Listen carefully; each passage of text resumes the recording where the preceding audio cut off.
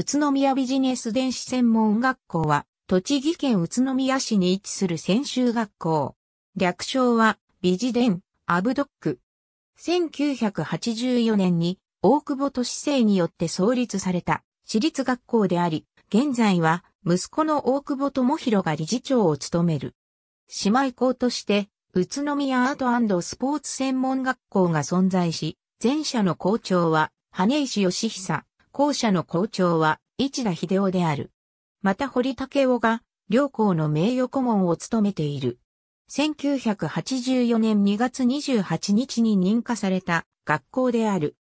産業能率大学や自由が丘山王短期大学との W スクール制度が導入されており、一部のコースを除き編修が可能となっている。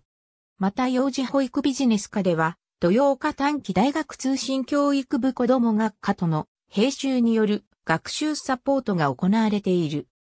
1984年の創立当初から産業能率大学との併修制度は存在しており、現在までに多くの卒業生を輩出している。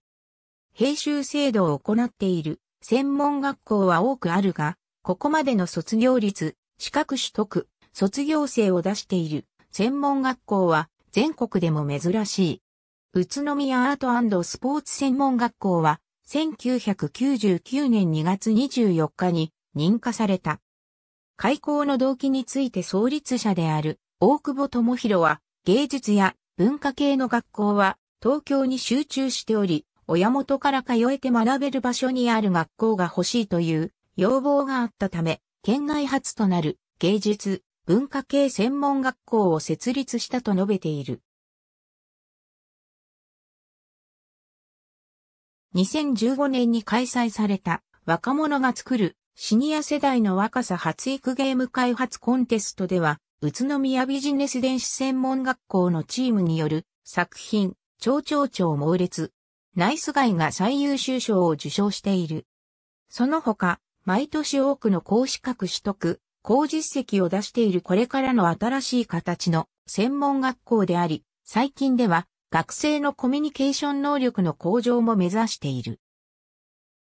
第304回栃木県私立学校審議会の会議結果について、栃木県2017年3月6日、ABCD 専修学校栃木県アブドックのご案内ご挨拶アブドック平成31年度生、学生募集要項、アブドック、ハットトップ戦略を聞く宇都宮アートスポーツ専門学校読売新聞2015年2月12日、ゲーム制作で最優秀シニア向け、街づくりテーマ、宇都宮ビジネス電子専門学校チーム、下付新聞2015年10月20日付長官、26面。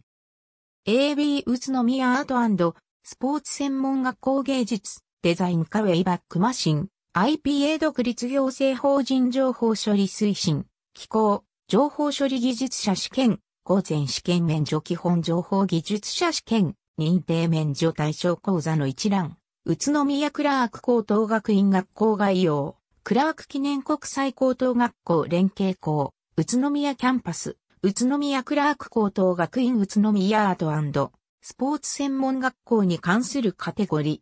ありがとうございます。